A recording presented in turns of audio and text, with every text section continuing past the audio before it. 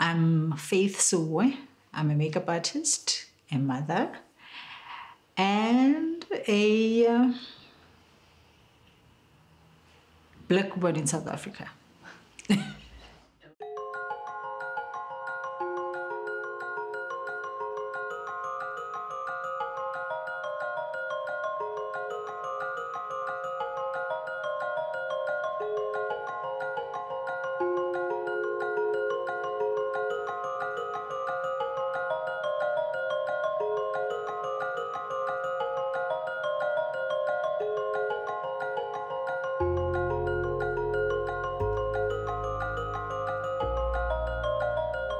grew up in a household of uh, strong women.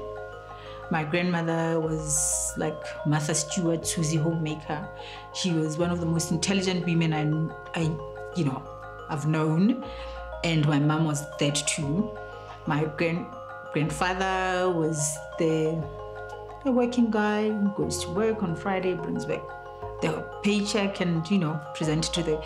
But I grew up in a in a grandparents' household with my cousins, but I was always creative. And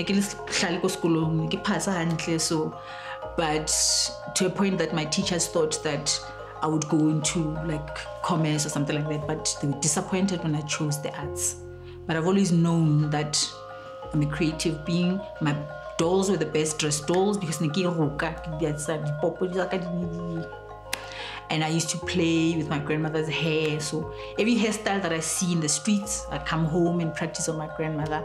At the age of 10, I was plaiting people's hair for 450. So I was already trying to make uh, uh, some money, you know. So I loved movies, I loved books, I loved reading. So I never wanted to ask my mom for Chelta movie to by books. You know, professionally as a makeup artist, I started in 1990, but I had been doing makeup a little bit there and there, but like as a beauty consultant. So I started out as a beauty consultant, went into hairdressing, went into teaching hairdressing, and then eventually went into my real passion, which was makeup artistry. And I went for my training in 1990, and then from there, I went and worked for Bop TV, and then from Bop TV, ran my own salon, and then since 1997, I've been freelancing. Kikukari back. Uh, my mother, who was caught between the rock and hard place because she wanted to support me as a creative child, but she was worried because she knew that the stability of the creative side of industry is not as, you know, it's a little bit of a rocky uh, road. But uh, uh, when I finished matric, I knew that I wanted to be a makeup artist because already I had already started with the hair stuff. And at the time, my mother had just finished Nata Varsity. She went to varsity late, at like the age of 39. She went to do her first degree. So when I went to boarding school, to high school, my mom went to varsity to do her first degree. So when eventually she came back, she was she had two degrees, and I said John, I said, "This is what I want to do." My my mother was trying to discourage me, and but eventually I said, you know, this is what I want to do, and he was supportive. So I went and did a, a, a beauty consultant course, which was like it was cheap, but at the time I couldn't do the makeup artistry course. But my mom just started started working, so she was still trying to find herself in terms of financially. So she couldn't afford to. So she said, if you want this, you're gonna have to find a way. So I went and did makeup a, a beauty consultant course and I started selling makeup door to door, which wasn't great. Uh, eventually, I uh, you know went into hairdressing, and years ago, I was invited as an African Africa's representative in Greece. Uh, to sort of represent Africa at a global face art symposium. Uh, they had about 200 makeup artists from all over the world, and they had probably about 10 makeup artists who were going to present. And to walk in as a black woman with dreadlocks, and I, I had the most amazing to be on stage and to uh, uh, part of my presentation was that I should I should do African makeup from two different like authentic African makeup and then so the African makeup side of things to choose uh, Basotho's makeup Bali to choose Maxhosa. This is part of me. My mom is Sotho, my dad is Xhosa.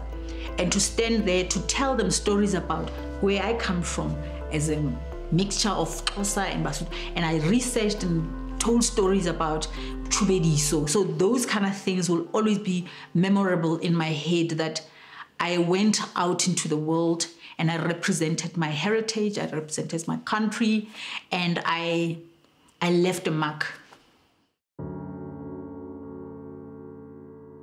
I was I never doubted being here, wanting to be here. And I was a single mother and I, I knew at some point my kids were like, Mama, maybe you should try. And I never ever wavered. I knew that I had something to say, something to do with my hands.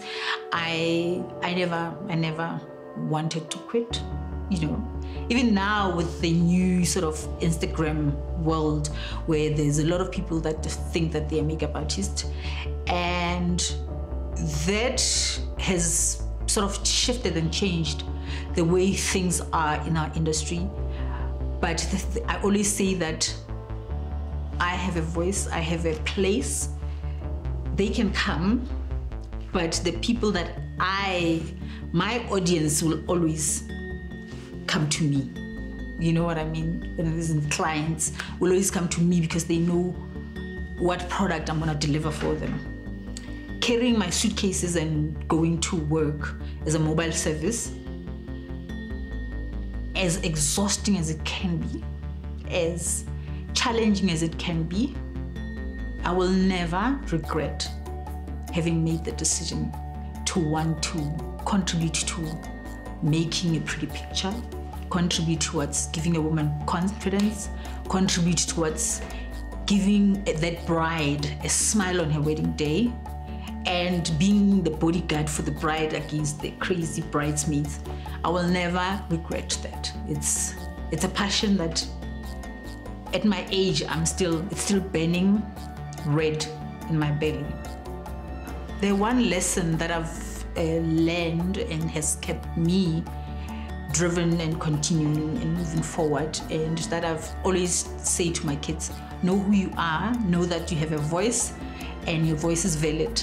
And whatever you choose your passion must always be at the forefront because no matter what challenges you experience along the way your passion will carry you through.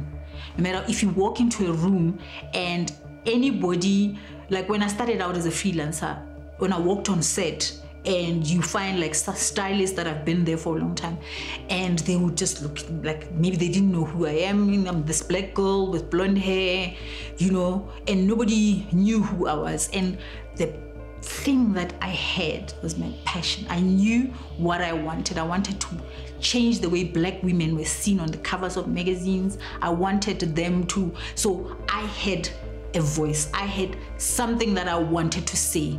And that is the one thing that will carry you through everything that you go through in the industry.